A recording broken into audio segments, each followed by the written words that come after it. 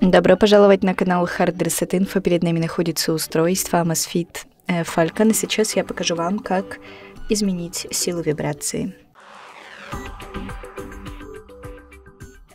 Итак, открываем настройки, далее проходим в раздел «Звук и вибрация»